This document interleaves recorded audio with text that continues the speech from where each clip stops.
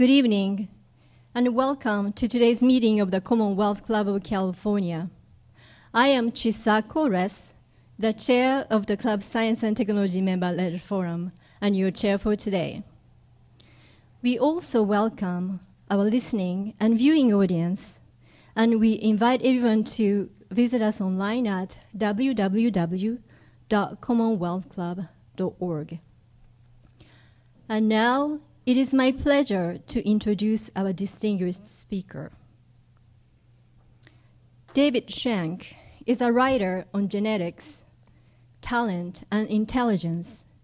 He is the national best-selling author of five previous books, including The Forgetting, Data Smog, and The Immortal Game. David's presentation today is based on his most recent book, The Genius in All of Us, which integrates cutting edge research from a wide range of disciplines, including cognitive science, genetics, biology, and child development. Salon's review says the genius in all of us has quietly blown my mind. David will present a compelling case against the notion of genetic giftedness and suggest a completely new paradigm, not talent scarcity, but latent talent abundance. Please join me in welcoming David Shenk.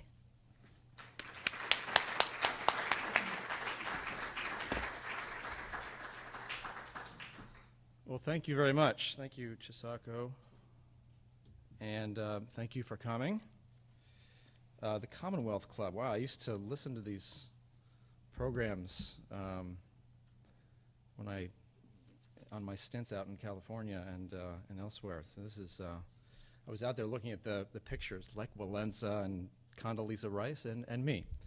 Um, so, uh, as Chisako said, uh, my goal today is uh, it, it's a big subject, and uh, my goal today is actually quite uh, ambitious. I want to try to um, I want to try to shift a little bit the way you think about how you became you and, and how your children become uh, who they are as well. Um, and we're going to try to quietly blow everyone's mind here loudly would be too much. It would, you know, too many minds. So, um, in 1994, the uh, psychologist Richard Herrnstein and policy analyst Charles Murray warned in their book *The Bell Curve* are more and more isolated from the cognitive slash genetic underclass. Genetic partitioning, they called it. That's that's their phrase. There was no mistaking their message, and I'm going to show it to you. The irony is that as America equalizes the environmental circumstances of people's lives, the remaining differences in intelligence are increasingly determined by differences in genes. Putting it all together, success and failure in the American economy and all that goes with it are increasingly a matter of the genes that people inherit. Now, uh, Herrnstein and Murray are, of course, neither the first nor the last to suggest this gene giftedness paradigm. You've heard politicians, scientists, and plenty of others whisper or even say out loud that certain racial groups um, are less intelligent than others, or that uh, certain groups have better gene driven athletic ability. And you've also heard, and probably even said yourself in one way or another, this notion in a more individual, in a more individual term, that some people are simply bestowed with certain innate gifts, musical, intellectual, athletic, while others are not that talent and high intelligence are somewhat scarce gems scattered throughout the human gene pool, and that the best we can do is locate and polish these gems and accept the limitations built into the rest of us. So let's ask that question and, and try to answer it. Is, is this true? Is there actually such thing as a genetic underclass? Or a genetic and a genetic overclass? Or to put it more mildly, do some of us have better genes than others? For a hundred years, we've accepted this, some version of this gene giftedness paradigm. And I'm here to argue that the, this paradigm is fundamentally incorrect. It's my contention that even though it often appears to us that good and bad genes are what separate certain groups from one another, or at least certain individuals from one another. When you look closely at several different contemporary threads of science, it emerges that there is no genetic underclass or overclass among race, and that most of us are not genetically doomed to mediocrity. In fact, I think the science suggests, quite to the contrary, that the human genome that we all share is itself designed to respond to challenges and demands, and that, as Cornell University developmental psychologist Stephen Ceci says, we have no way of knowing how much unactualized genetic potential exists.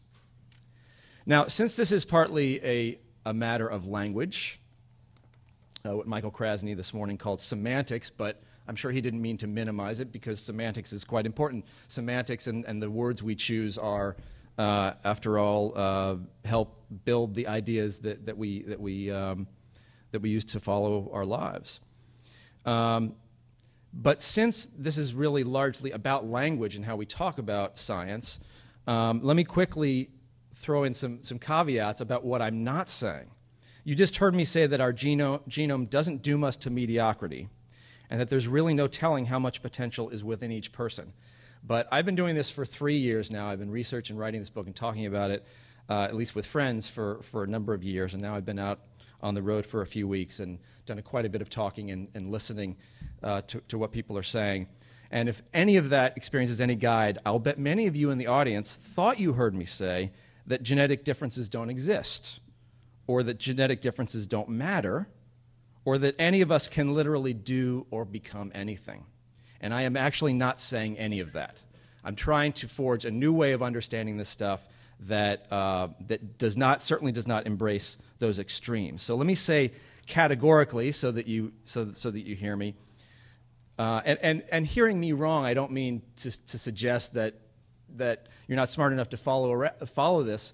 What I'm trying to suggest is that we as a culture have been trained to think very much in terms of black and white, uh, at least around these issues. So let me say categorically genetic differences do exist. Genetic differences do matter tremendously. And all of us have limits, of course. If you're looking for someone to tell you that genes don't matter, that, we'll all, that we're all born with exactly the same potential, that any of us can become anything, literally, then I'm not your guy, and this book certainly is not for you. What I am trying to suggest is that most of us really don't know what our true limits are. The science of genetics, talent, and intelligence all suggest that it's time to start thinking and talking about human abilities in an entirely new way. It's possible to appreciate the immense influence of genes, but also understand that as individuals, we are not put in a straitjacket by those genes, that in fact, we can impact our own genes. Um, and another caveat, you'll hear a lot of caveats tonight. I really can't make this my whole case in one session. Uh, this is going to sound like a cop out, but three years and 300 pages uh, of, of, of, a book. What I do in the book is actually bring together several different threads uh, of science, arenas of science, and, theme, and, and bring the themes out in each one and how they correspond with one another. And um, so uh, I, I have to kind of pick and choose, and I'm going to try and actually emphasize genetics today and try to make that case. Of course, we'll talk about how people get, get good at stuff, but um, I don't expect you to be fully convinced by the end of this hour, and I hope that you will uh, bear with me. And, um, and perhaps if you're still open to what I'm suggesting, consider reading the book. Uh, if not buying it, uh, borrowing it from the library.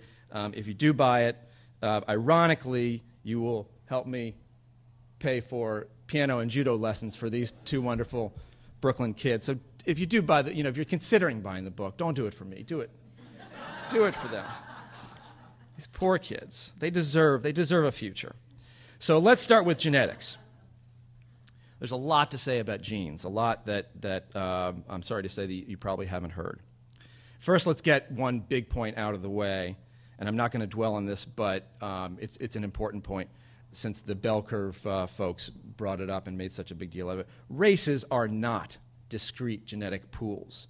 Skin color is a great deceiver on this point. Actual distinct genetic differences between ethnic groups and geographic groups are, um, are actually very, very limited. There's much more diversity inside any group, any group that you, that you uh, can pull together.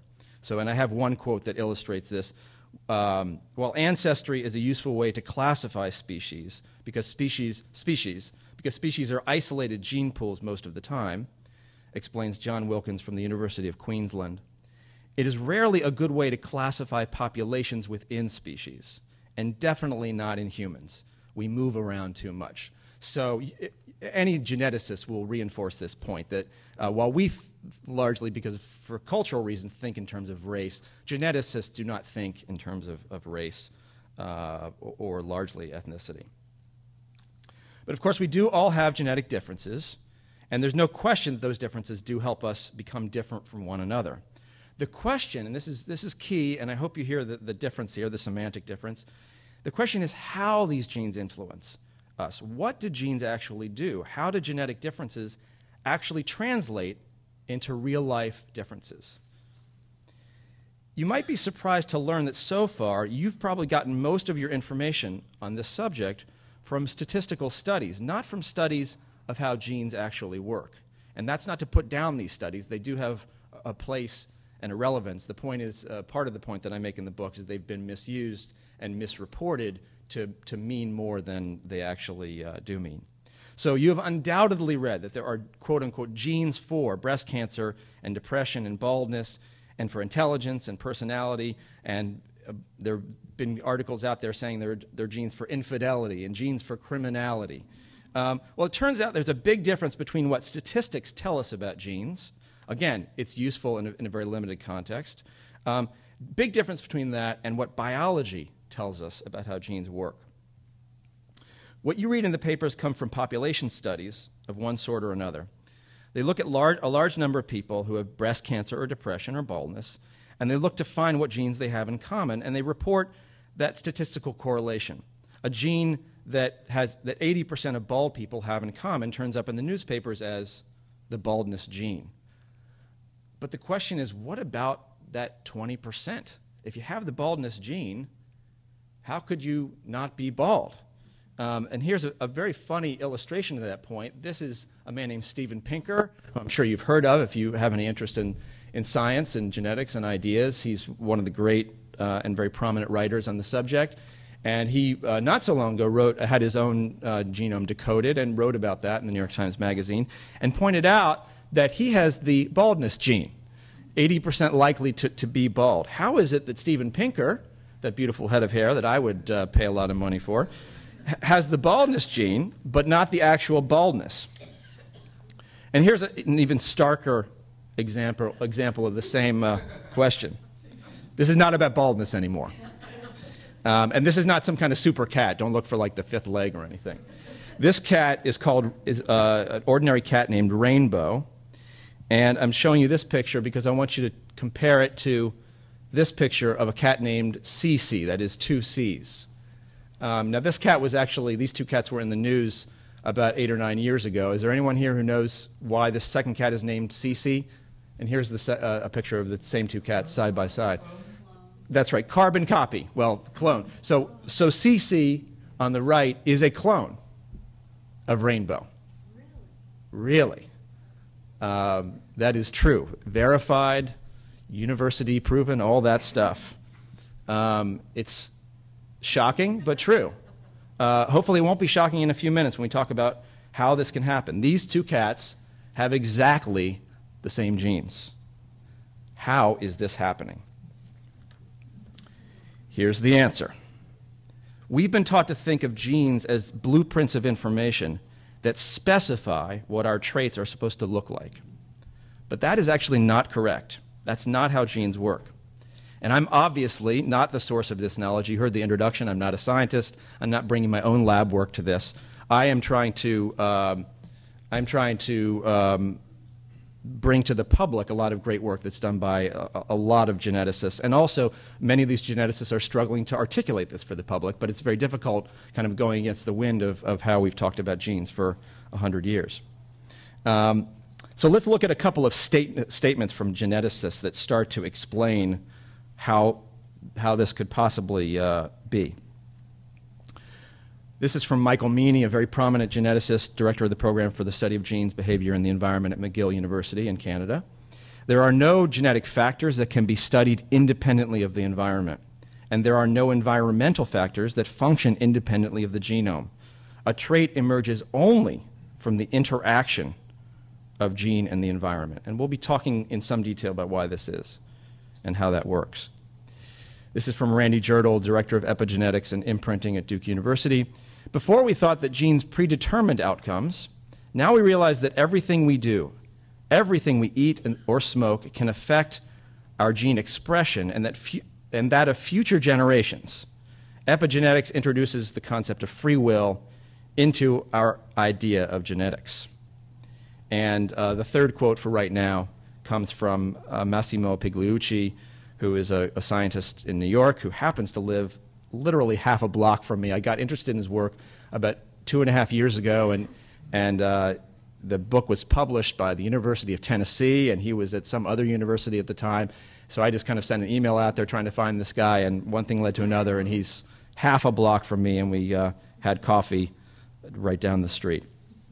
His quote is Biologists have come to realize that if one changes either the genes or the environment, the resulting behavior can be dramatically different. Oh, that's a little, it's a little soon. Let me just. Um...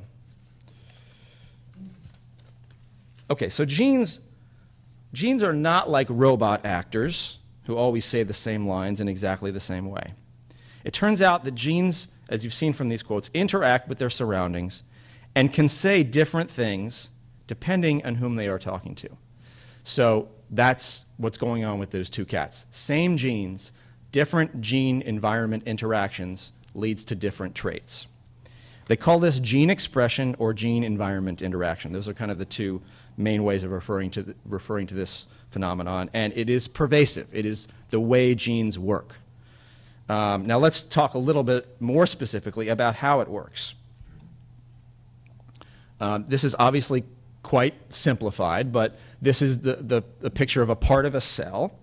Um, and what we have is um, what we have is the, the DNA, which is, as, as we all know, famously uh, stable from parent to child. It's exactly this. You have the gene, the exact genes, as as your, uh, your, from your father and your mother, and those don't change. And then the DNA gets uh, met with a, a, something called RNA messenger, which is kind of reading the DNA, and then go, and, and that happens in the nucleus, and then it's taking that messenger information outside the nucleus and uh, assembling amino, amino acids into a protein. And then it just keeps doing that over and over. Now, here's the key part about gene environment interaction it doesn't actually happen uh, this simply because there's always some outside forces which are affecting the relationship between DNA and the RNA messenger. So you can have the exact same DNA in two different people or two different cats or what have you, and, um, and the DNA is getting expressed in a different way depending from moment to moment on the various environmental uh, variables that are that are uh, impacting uh, any, any given cell. Um, another quote here although DNA starts off the causal chain, what really matters is the expression of the genes in terms of the messenger RNA. Oh, here is the quote, excuse me. Um, there are no genetic effects without this expression. So you can see a lot of scientists are trying to find the way to, to get this out to the public because this is relatively easy knowledge to understand, but it's, it's, they're, they're still struggling to, to get heard, basically. So, um, my contention, and, and, the contention of all the scientists I've mentioned and, uh, and plenty of others, is that this obliterates the long-standing metaphor of genes as blueprints with elaborate pre-designed instructions for eye color, thumb size, mathematical quickness, musical sensitivity, etc. Rather than finished blueprints, genes are more like volume knobs and switches. Think of a giant sound mixing board inside every cell in your body. So instead of a blueprint that's got the fixed information about what the genes are, are supposed to, how they're supposed to end up as traits, you've got all these switches and knobs, which are the genes, and they're constantly being adjusted by the environment uh, around it. And the, the, the actual traits that emerge are the result of the unique interaction that, that are going on constantly. So that's what, that's what explains how the exact same gene in two different uh, animals or, or even plants can produce different outcomes. And this happens constantly and, uh, and all the time. So most of these knobs and switches can be turned up or down or on or off at any, any time by another gene or by any minuscule environmental input. This flipping and turning takes place constantly. Um, it begins the moment a child is conceived and doesn't stop until she takes her last breath. Rather than giving us hardwired instructions on how a trait must be expressed, this process of gene environment interaction drives a unique developmental path for every unique individual. So, we're, we're coming up with a new way of trying to understand and, and, um, and think and talk about how genes work. We're not running away from genetic influence. We're talking about how the influence actually works, and we're, we're dismissing this idea of genes causing traits or even causing, distinctly causing parts of traits, because it's all about that interaction. Um, genes in, powerfully influence the formation of all traits from eye color to intelligence, but rarely dictate precisely what those traits will be. Um, so genes matter, and genetic tr- differences will result in trait differences. But in the final analysis, each of us is a dynamic system, a creature of development. So let's look at this in, in, in, yet another way. Under the old paradigm, we thought that genes came first and, and set the stage. You got genes creating proteins, creating cells, creating traits, and then, you know, we all know it's, it's famous that, that nurture plays a part of this. Uh, but we thought it was kind of nature and then nurture, nature plus nurture uh, the environment kind of comes in and, and helps us somehow helps us define our traits or at least our abilities uh, toward the end of the process. Here's the new paradigm. It's this feedback loop, it's this constant dynamic in which you can't actually ever fully separate out in a distinct way the influence of genes or the environment because they're constantly uh, interacting how, uh, what that influence is. So there is no genetic foundation that gets laid before the environment enters, enters in. Rather, genes express themselves strictly in accordance with their environment. Everything that we are from the first moment of conception is the result of this process. We do not inherit traits directly from our genes. Instead, we develop traits through the dynamic process of gene uh, environment interaction. And I, don't, I, I, apologize if some of this is sounding redundant. Um, somehow, sometimes I'm not sure whether I'm going too fast or too slow because uh, most of this will sound pretty new to you, and I, I, wanna, uh, I, want, I want it to sink in. So here's the really great news where we can now move into talking about abilities. We can have, and this is obvious from, from what I've already said, but we can have an impact on this interaction, which I should also has, uh, quickly rush in to say, as a caveat, it's not the same thing as saying we can fully control it. Having an impact doesn't mean we control all the variables. We're not even aware of anything like uh, all the variables, and, and we never will be.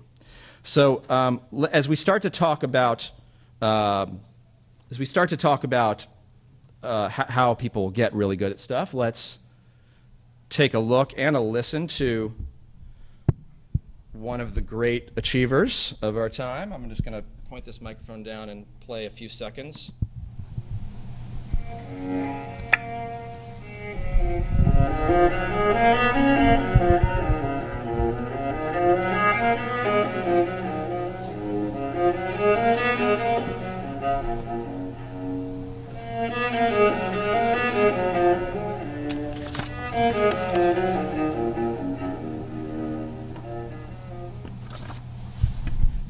You. I'd rather just keep listening to that than talk, but um, we've got we've got work to do.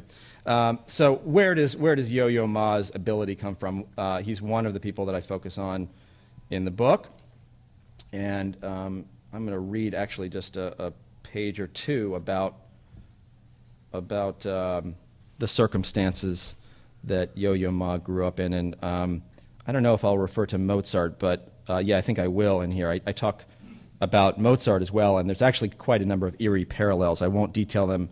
Uh, too much right now, but um, it's, it's, it's kind of extraordinary. So uh, let's see, from page 76 of my book, if you're following along. Um, this, is, uh, this is interesting because one of the things I did is I, I looked at uh, a memoir written by Yo Yo Ma's mother, and um, it's, it's, fascinating. And um, so I'm going to start here. She, uh, Marina Ma details how, from the very moment of his birth, Yo Yo was exposed to music in the most profound and exquisite way. Both Marina, a trained opera singer, and her husband, oh, I'm going to butcher this name, Kiao Tsun, a teacher, composer, conductor, had immigrated to Paris as, a young, as young adults to study, play, compose, and teach music.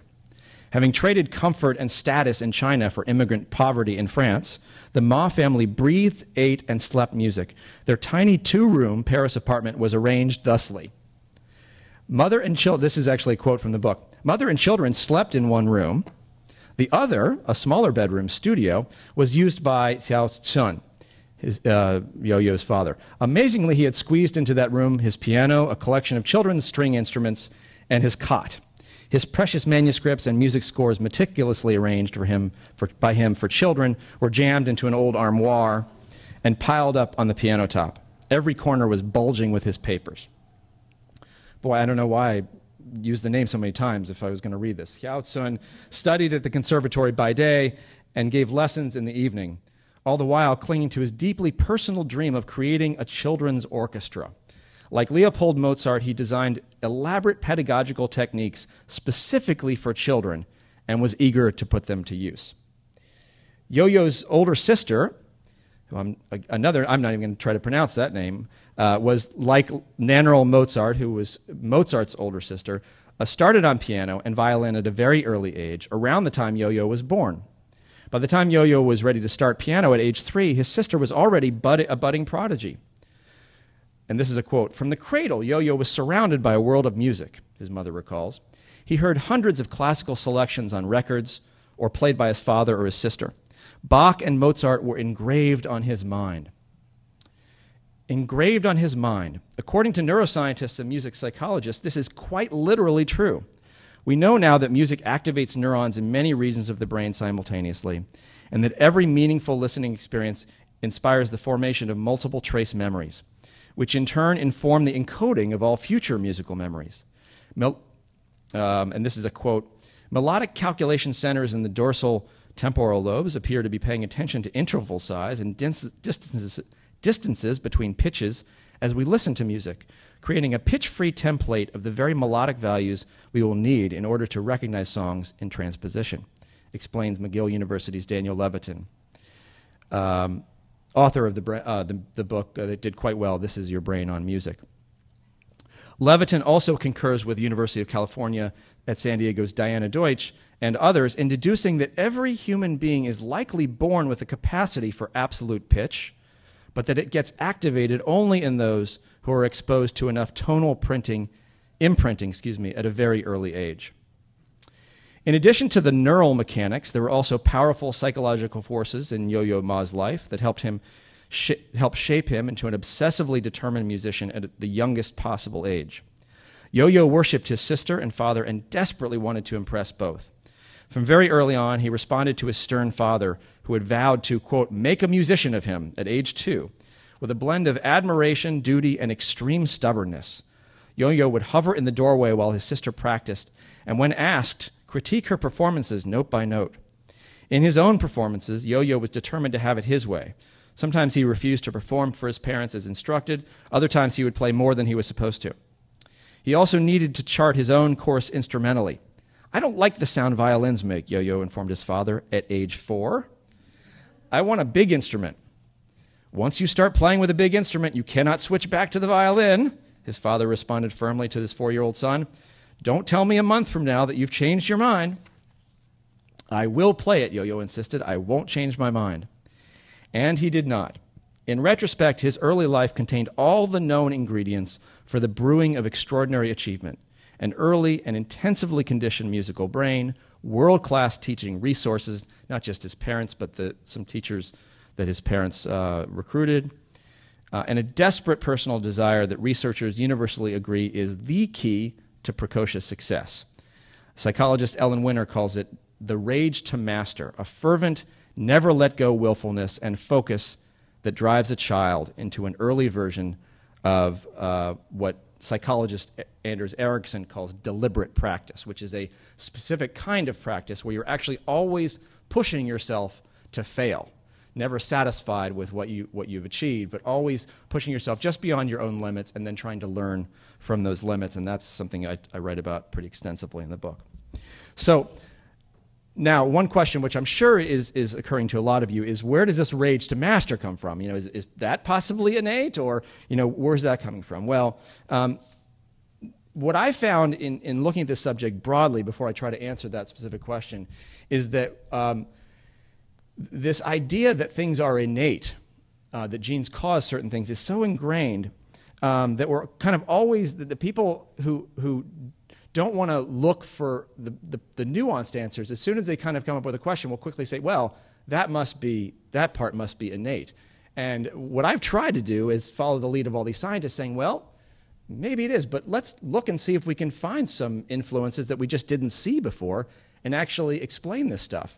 Um, it's very funny because, you know, several hundred years ago, if we were trying to explain this exact same thing, most of the people would say, well, God is doing that. This is coming from God, and that would be our explanation. And, and 100 years ago, after we discovered genes, the, the explanation would be, well, it's genes that are doing this. We're always looking for that explanation that, that satisfies our need to understand things.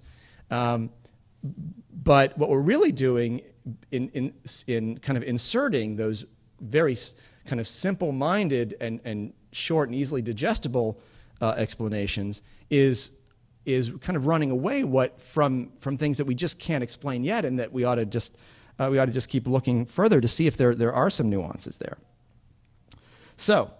Um, so this, this idea of, of, uh, of tremendous persistence, um, can that be taught? That's obviously one big question that emerges and that I address pretty extensively in the book. And you won't be surprised to hear me say that there's a lot of evidence that, that it can be taught. And I, I think I can back that up pretty explicitly, and I'm going to do a little bit of that right now. So, the first part of, of, of trying to learn where persistence comes from is to look into the, into the empowering reality of this kind of overall message. Um, the idea that skills are actually acquired rather than innate. And the understanding that people who have that understanding feel empowered and, understand, and will pursue without bounds the, these tremendous goals because they believe that it's process that takes them there rather than uh, than any kind of innate ability. Um, I'm going to read another short section about a, uh, a local uh, hero of yours, Stanford psychologist Carol Dweck. Uh, she used to be at Columbia, but she's, she's here now. Um, and, and what, she, what she has brought to this discussion, which speaks to what I was just saying. One common characteristic in all successful adults is that at some point in their lives, they come to realize how much of the process, how much the process of improvement is within their own control. That's also what Stanford psychologist Carol Dweck observed in a series of grade school studies in the 1990s. In her central experiment, Dweck, who was then at Columbia, asked 400 seventh graders to complete a relatively easy set of puzzles, and then randomly separated them into two groups. Individually, each student in the first group was complimented for his or her innate intelligence with the line, You must be smart at this. Each student in the second group was praised for his or her effort. You must have really worked hard.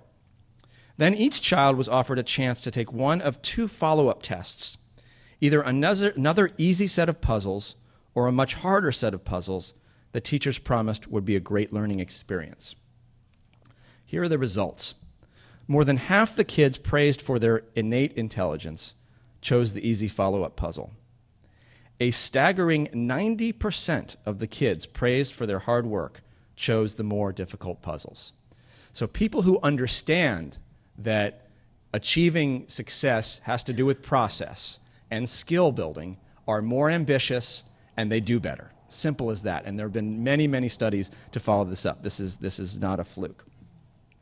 Um, again, going to this question of whether persistence can be taught. Um, another, uh, another comment which is relevant. This comes from Robert Cloninger, a Washington University biologist who told the uh, San Francisco writer Po Bronson, that many of you have heard of, that yes, brain circuits that modulate a person's level of persistence are plastic. This idea that they can be, they can be changed, uh, they can be altered. And the quote, his quote is The key is intermittent reinforcement. A person who grows up getting too frequent rewards will not have that persistence because they'll quit when the rewards disappear. This also fits with other studies of great achievement, which I get into in the book. Um, one of them is the ascetic philosophy of Kenyan runners, which is a part of their culture which affects um, hugely their, their intense level of motivation to, uh, to run from a very, very early age and to run uh, very, very hard. Um, uh, and, and yet another data point here comes from Stanford psychologist Walter Mischel, who is the, uh, the lead um, investigator in the famous marshmallow study where they learned about delayed, the importance of delayed gratification. And what isn't as widely reported is that in his side experiments, they, tran- they were able to transform kids' wait times by suggesting how to think of the rewards. When kids were staring at real marshmallows, were encouraged to imagine them as pictures of marshmallows, making them more abstract in their minds, it lengthened their ability to wait from 6 to 18 minutes. And the reverse was also true. Kids imagining pictures as real marshmallows had their waiting ability shortened. So, um, you know, fairly simple experiment, but opening up a, a, real insight into, into, into this uh, suggestion that yes, these things can be taught. Um, and I noticed someone just left, and it's, it's uh, she missed just a minute because this is, this is the end of my talk. Um, uh, there's much more to say about the science and process of great achievement. I think that's probably obvious. Um, but I, I, think that we've touched enough on genetics to, to hopefully open up your minds to see that this is more than uh, just saying, well, it's nature or it's nurture. And um, I'd like to close with, um, with two quotes, actually. Um, one is uh, just an amazing quote that I found near the end of writing my book from the, the, the amazing musician and artist Brian Eno, who I, I think probably doesn't know a lot about this science, um, but, but said what I'm, what, I, what I'm trying to say in my book uh, in just such a, a, a profound way and just really uh, gels so nicely with the whole with the whole message of the book and, and, and, and with everything that I saw, all the science that I've seen over the last few years. Um, it is slightly profane, I warn you. We can edit this out if, uh, for, uh, for broadcast, I suppose. Here's Brian Eno's quote What would really be interesting for people to see is how beautiful things grow out of shit. Nobody ever believes that it happens that way. Everybody thinks that Beethoven had his string quartets completely in his head, that it somehow appeared there and formed in his head, and that all he had to do was write them down. What would really be a lesson that everybody should learn is that things come out of nothing. Things evolve out of nothing. The tiniest seed in the right situation turns in the, into the most beautiful forest. And then the most promising seed in the wrong situation turns into nothing. I think this would be important for people to understand because it gives people confidence in their own lives to know that that's how things work. If you walk around with the idea that there are some people who are so gifted that they have these wonderful things in their head, but you're not one of them, you're just sort of a normal person. But with this new insight, you could have another kind of life. You could say, Well, I know that things come from nothing very much and start from unpromising beginnings, and I'm an unpromising beginning. I could start something. I just love that. It really, uh, it really resonates with, with uh, obviously with what I'm trying to say. And finally, I just want to read, um, and this is just really cruel of me for anyone who plans to read the book, but um, I um, guess it's a little masochistic. I'm going to read the epilogue, the, the last page of my book, um, and I'm going to I'm to blow the, the whole the whole uh, the whole mystery for you. Um, which is a joke, obviously. This is not a narrative book that, that, that has a great mystery in it. But, um, but I, I, do talk, uh, for those of you who read the book, you'll see that I talk about Ted Williams. I start the book with Ted Williams. I talk about him throughout the book. Um, there's just a lot of really neat lessons to be learned and, and gleaned from his, uh, from his life. And so I, I, decided to end the book with, uh, with talking about that and, and something else. Parts of the North Park neighborhood of San Diego don't seem to have changed a whole lot since Ted Williams' time. His tiny boyhood home at 4121 Utah Street still stands. Two short blocks away, his old practice baseball field is still there too. They call it Ted Williams Field now. Outside the batting cage are sign up sheets for Little League. On the sunny afternoon I was there, the field sat empty. No one feverishly hitting baseballs until the threads and skins wore off, which is what Ted did no one shagging balls for lunch money, which is what Ted paid people to do so that even as a very poor kid, he could just keep hitting balls. Maybe instead, some 11 year old kid was inside somewhere practicing the cello with all his heart or building a new piece of software that will change the world. With the field completely empty, it was easier to imagine Ted standing at home plate, yelling at his friend to throw another one, and harder this time. to see a few kids standing in the outfield, gloveless, trying to catch the balls but missing most of them. The bat cracks every few seconds, and Ted occasionally mutters, That's it, that's it. Every time he misses the ball or cracks a foul, he takes note of his stance and his swing. He marks how the ball left the pitcher's hand and how it spun and how it traveled. When he started his swing and exactly how he moved his shoulders and his hips and his wrists. I think of my two kids, and I wonder if they'll have the same level of determination with any craft. I wonder if I want them to. The truth is, I do want my kids to dream big and to never give up. I can't pick their dreams for them and wouldn't dare try. But I can tell them, as my mother and father told me, that any dream is worth having, and there's no telling what you can do when you put your mind to it. The only difference between that generation and this one is that my parents were speaking from intuition, faith, and experience. I'm speaking from intuition, faith, experience, and science. Thank you so much for coming. Appreciate it. Thank you, David. We'd like to remind our listening and viewing audience that this is a program with the Commonwealth Club of California, and you're listening to and viewing The Genius in All of Us with David Shenk. Um, okay, so I'm going to open up the floor to questions, and I'm going to pass around the microphone. If you have any questions, please raise your hand and wait until you have the mic- microphones because we are recording. Okay, here. Um, so it's clear that um, environment can improve performance. And um, what's the evidence, what's the scientific evidence that environment can change genes? In other words, you, sit, you had the train between genes, proteins, traits, etc. Right. But what is the evidence, the scientific evidence that any environmental factors can change genes? Okay, well, there are two answers to that. Um, the first is that um, the first is that most importantly, the environment doesn't change genes; it impacts how genes are expressed. Um, so now there are random mutations, which then goes speaks to Darwinism, um, and I'm not talking about that now, and I'm not an expert in evolution. I think there actually are some implications of some of this for understanding having a new understanding of evolution, um, but I haven't really dealt with that. I mean, th- there's a lot of now new data that which is helping us understand evolution in new ways, but that's really an aside.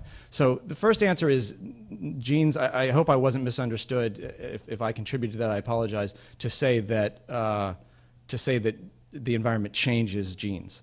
It actually only changes how genes are expressed, and therefore the, the consequences that are going to come out of, of gene expression. Uh, the second answer is a little more complicated, and I didn't really get into this um, because it's another level, um, and I didn't. Uh, there's just so many levels to this, but the very last chapter of my book is about epigenetics, and that's a new science that some of you may have read, at, read about. And uh, epigenetics is about uh, is another way of looking at, at how genes are expressed, and and at this kind of crazy idea, which has now been proven to be absolutely true, at least in, in some cases, and seems to be more and more widespread the more scientists look at it. In that, um, although we don't, uh, the, the, genes that, we, that parents pass to their children are exactly the same, they, they stay intact. Um, there's a wrapping that goes around those genes that also passes from parent to children and that greatly influences gene expression. And that actually does change and can be altered by the environment.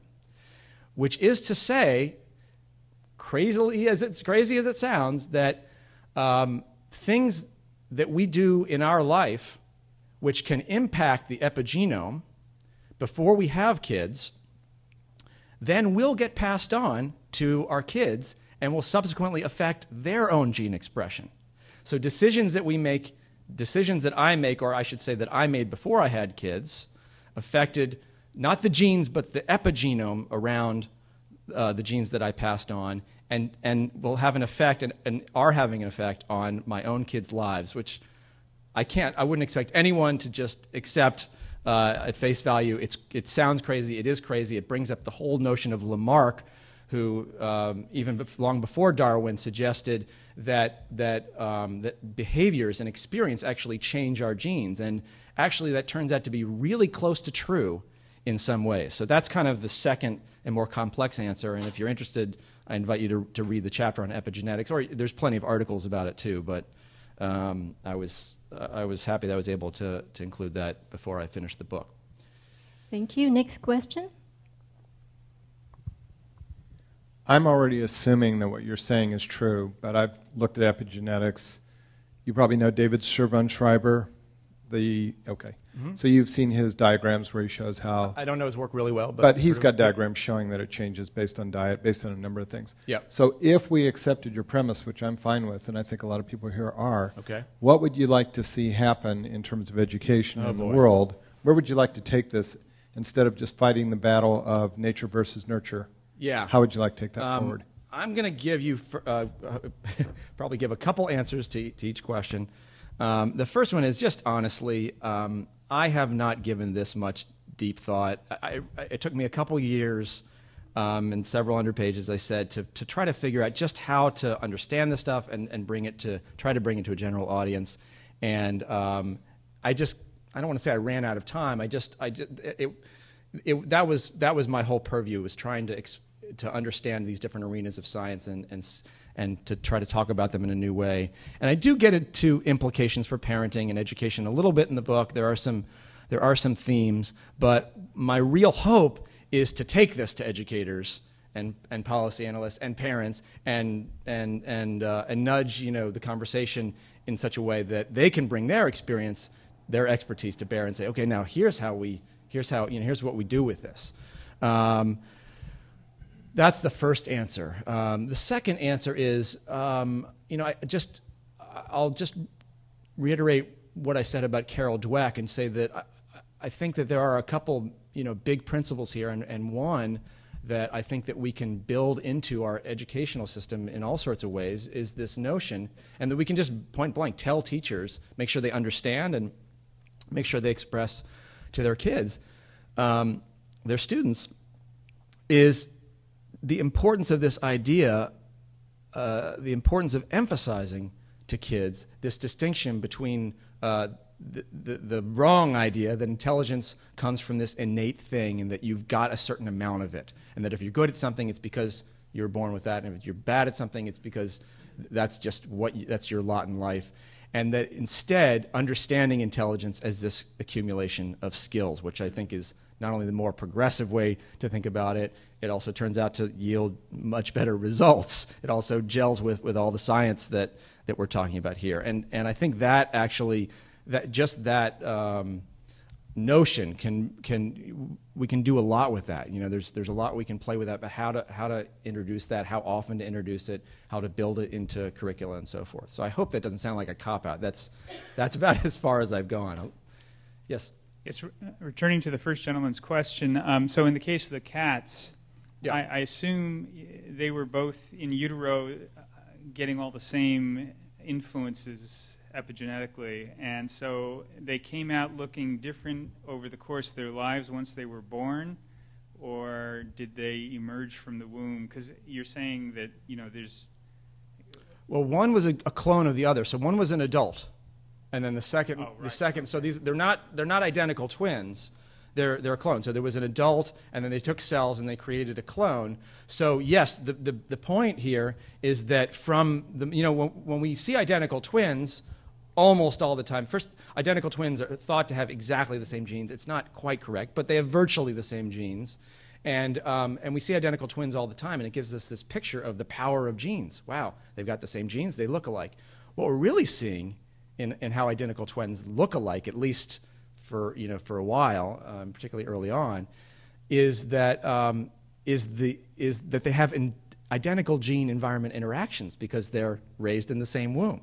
Um, and so, what we're seeing with clones now, and this is not the only instance, uh, uh, I, I, hope that's obvious, um, um, is that when you actually have the exact same set of genes raised, uh, uh, uh gestating in a completely different environment. And I actually don't know if it was if they then put it into. A, I don't think they put it into into Rainbow's uh, womb. I don't know what the the um, the surrogate was in this case, um, but clearly different environments because they weren't even being raised at the same time. They were being raised a generation apart. So the different that's the different gene environment interaction, which the same exact genes then led to these very different traits. In in your research, did you stumble across nanotechnology? Uh, nanotechnology. Um, it doesn't come into my book, but tell me what you mean. I, tell me, maybe I'm missing the relevance.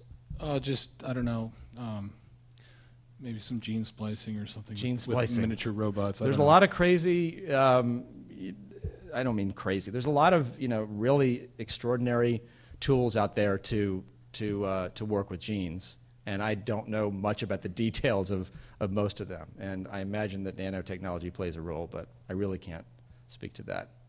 That's for a geneticist to answer. Any other questions? I had a question about um, environment. When you had mentioned environment um, as playing an integral role of how genes, I guess, end up or Yes. are expressed. Right. Um, how much of that environment would be considered um, like, you know, living next to a toxic zone or, you know, environment, bad environment, not being able to move around a lot, bad weather, that type of thing? Right. And how much of that would be um, cultural, like in the society or even the dynamics within a family?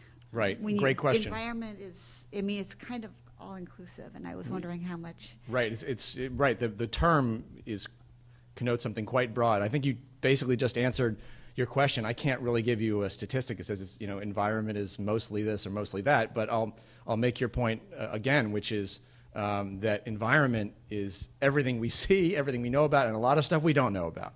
It's the oxygen, it's the air we breathe, it's the nutrition we eat, it's the stress stresses we have, it's the um, it's the thoughts we have, it's the values that, that come to us from uh, from our culture through the media and, and through our social networks. Um, it is the um, it is the the hormones in our body which are uh, the, the levels which are affected constantly by the lives we lead. So there isn't anything that's out of bounds here. Anything that you could imagine that's that's could be considered environment could uh, and and will impact this gene environment interaction. Sure. Uh, taking that one step further, um, what if you have uh, two men and you, you know, you they both lose their wife and they both lose their job in a s- short amount of time? Mhm. One man goes out and gets a new wife and a new job, and the other man jumps off the Golden Gate Bridge. Yeah. um, you know, it's it, so environment and therefore is the same for both, or the amount of stress they're under, yet they handle it completely differently. Would that be from their genetic code, or would that be? Well, I think you're leaving out a lot of a lot of stuff there. You know, I think um, I don't know these two men, uh, but I'm. Well, no, I'll just I'll just I'll just say that just to speak to to what I said before, um, you know, d- development um, development br- brings us along a certain path, and these two guys are very different guys, so they experience str- stress differently. I doubt they have exactly the same way of seeing the world. I have, doubt they have exactly the same support network. Um, so even though they're going to experience uh, a stress that um, in some ways mirrors the, you know, the stress and traumatic event that mirrors the traumatic event of the, of the other person, they're going to deal with it differently for a wide range of reasons, um, a lot of which have to do with, uh, with the lives that they led up to this, uh, up to this moment. And I'm also going to run in and, and say, yes, genes are involved in that. But um, I think you'll you'll you'll uh, you'll you won't be surprised to hear me say that that um, the genes there aren't going to be any distinct genetic effects. The, the, the, their difference in genes are going to have an influence in that for sure, but we're not going to be able to tease that out in any way. And it's it's really the this developmental path that involved the genes that got them to where they are and have one guy react differently. A lot of variables. Do you have a perspective on how much of human intelligence is not genetic, i.e., be- can be changed by diet, training, problem solving, etc.? Have you seen any research that quantifies that in any way, since intelligence is measurable and there are metrics for it? Um, well, I don't really thi- I don't really agree with your characterization that intelligence is measurable. Um, there are metrics for types of intelligence. Um, intelligence, the most, the most important thing to say about the study of intelligence is that we've been studying it for pretty seriously for 100, 150 years, and any intelligence researcher will tell you what we, what we know is this much and what we don't know is this much. Um, so there are some metrics, but they're all imperfect in, in, in, in, in very profound ways. Um, I would, to answer your question, I think more directly, um, there are, it's clear that there are, um, that there are um, serious genetic influences on our intelligence. But go back to the two cats and talk about, let's talk about cat intelligence. They are going to have the exact same genes, and yet they're going to have different types of, of cat and different levels of cat intelligence, if we could jump in there, because of those gene environment interactions. So the, the message is uh, not that genes don't affect us, the message is that we can actually impact our genes and that gene environment inter- interaction. Not to say that we can control it, not to say that we'll be able to completely master it, but the more we learn about what we can do from the environmental and experiential side, the more we can do to build up our, our own intelligence, even though we are going to have differences that, that do have uh, genetic, uh, genetic um, slivers to them. Are you aware of David Duncan's book, The Experimental Man, where he validates exactly what you just said?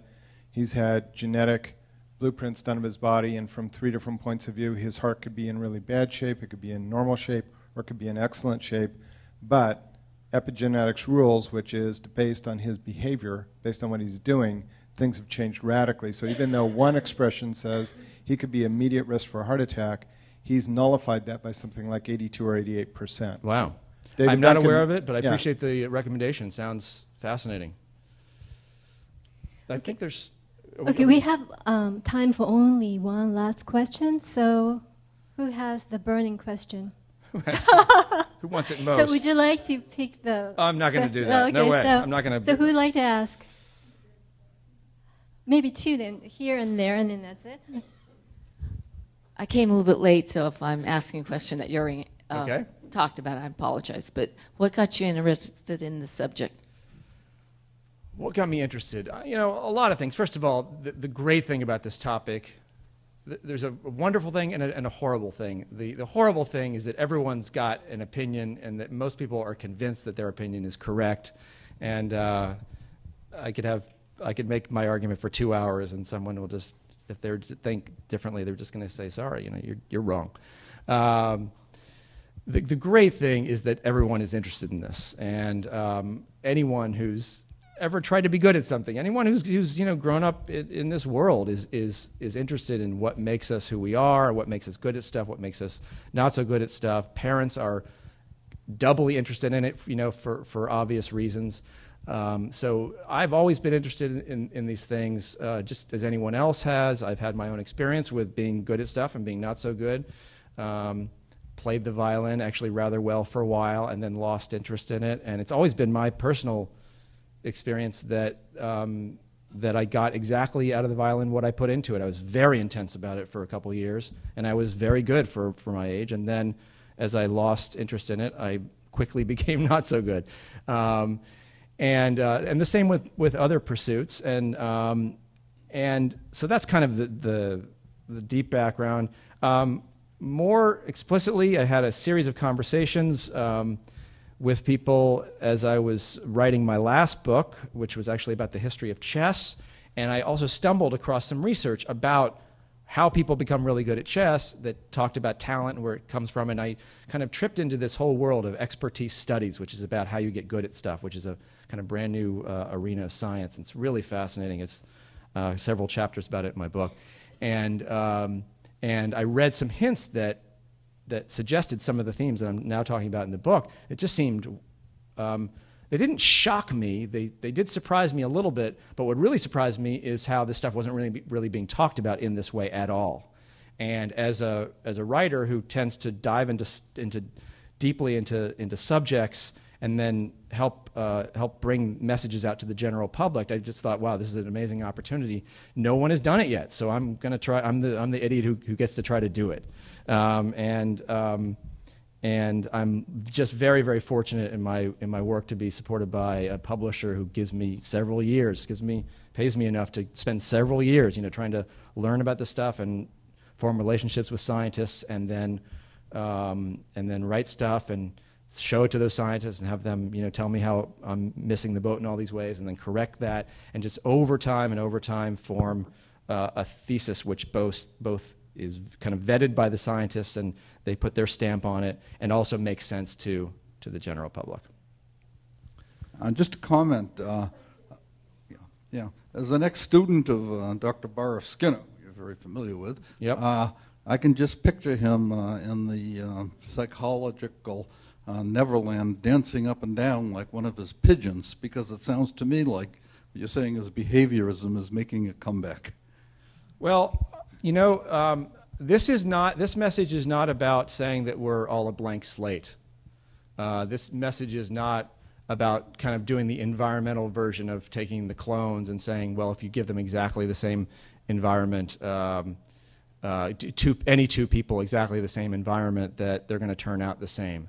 It's a very, very different message from that, um, and um, and it, it, can sound a lot like what people used to talk about as the, as the blank slate idea. Um, but that's only if you're looking at this stuff in, in black and white terms. And I think what we're all headed towards, hopefully, except for people at the extremes who don't really have an interest in, in having a conversation about this, is appreciating um, and continuing to investigate the influence of genes, but understanding the nature of that influence and also um, being wide open to all the, the wonderful ways that we can impact that interaction. So I, I, think it's a, I think it's a third way. I'm very humbled that a lot of scientists uh, who I kind of took uh, my ideas from are really agreeing with me that there is this new third way and that this is an, an advance forward. And, um, and I, I, hope that it's a part of, of, of, a conversation that's a lot more interesting than, than, than that one. Thank you very much. Thanks again.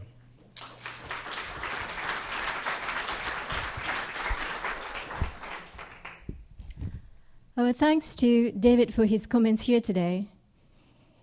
We also thank our audience here, as well as listening and viewing audience.